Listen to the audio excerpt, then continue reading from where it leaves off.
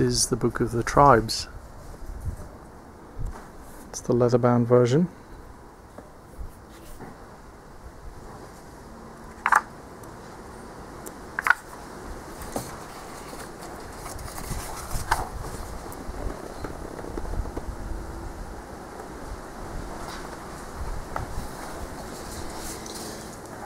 So this is the Cabal Cut World Tour where the Cabal Cut was shown up until Burlingame.